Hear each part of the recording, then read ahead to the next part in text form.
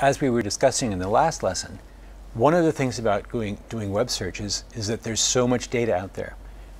One of the problems with so much data out there is you often will get what we call variant data. That is, different versions of the same piece of information.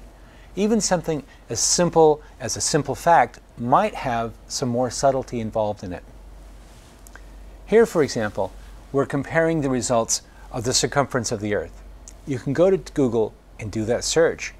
But one thing to think about is does that fact vary based on some contextual information that you may or may not appreciate?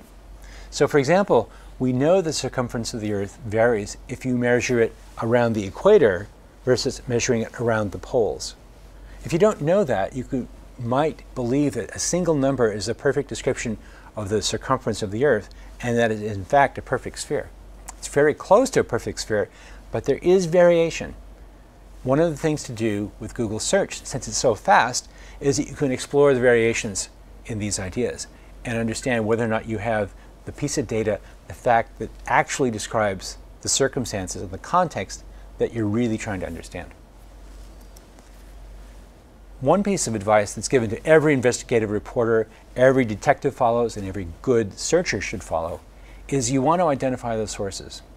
If someone says, a blogger writes, or you overhear something like 63% of all kids looked at pictures of funny cats today, one of the first things you should be asking yourself is where did that come from? Now, using Google search, how would you determine that? Well, what I would probably do is put in perhaps a quoted phrase search, 63% of all kids. That's going to be likely to show up something in that space. You might want to then add a quoted phrase, funny cats. You can play around with these different phrases and searches and combinations as a way of identifying what the original source was and not just a copy of a copy of a copy.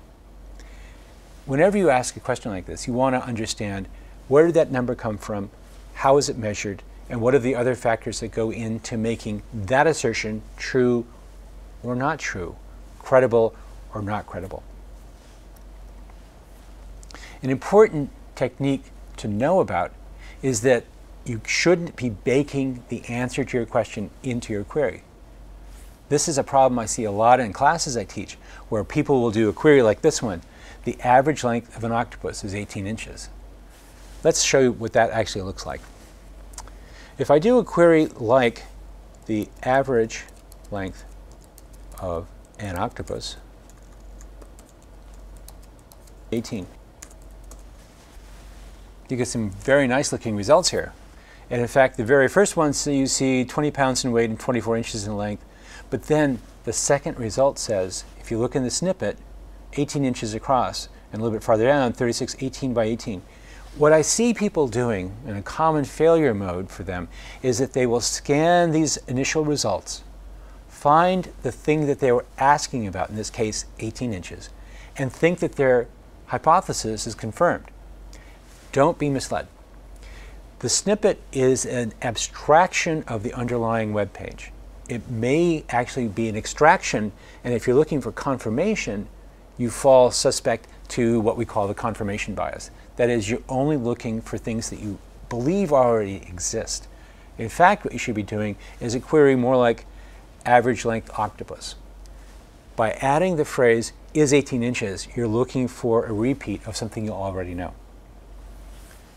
One of the things to keep in mind here is that there are different ways to phrase that information seeking process you're going through. You can look for confirmation of information you already know, or you can try to find the range of variation things that are out there. What you should do as a good searcher is to try to gather information about the entire space of what's going on and then use your skills to synthesize, filter, and organize that information to get to the bottom of it.